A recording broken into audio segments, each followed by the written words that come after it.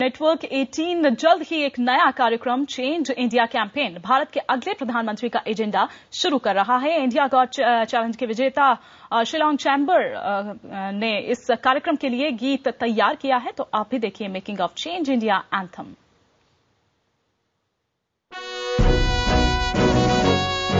वो सुबह कभी तो आएगी, इतना एक इंस्पिरेशनल गाना है। और जनरेशन्स के लिए पचास की सदी से लेकर आज तक जनरेशन्स को इसने इंस्पायर करा है वो सुबह कभी तो आएगी During its time, it was a song that was very stirring. The lyrics being very powerful and also having such renowned artists like Mukesh and Raj Kapoor being part of the film.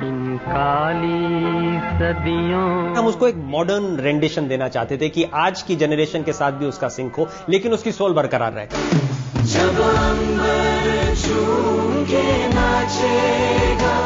तो हमने Shillong chamber क्वायर जो इस तरह का बहुत अच्छा music करते हैं उनको कहा कि इसको री रेंडर करिए आज के लिए उन्होंने करा तो अब आप देखेंगे और सुनेंगे कि किस तरह से सोल इंटैक्ट है लेकिन उसका एक स्वरूप जो है वो मॉडर्न हो गया है Okay, wait, wait, wait. Cut, cut. We've kept the essence of the song, but then what we've also done is we've given it energy. William, we should go like this. No?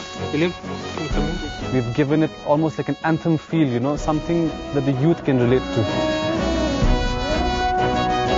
The morning, this call that we hear in this song, Wo Subha, it's for me personally, I feel it's it's the change that should begin in me. That is why this song speaks to me.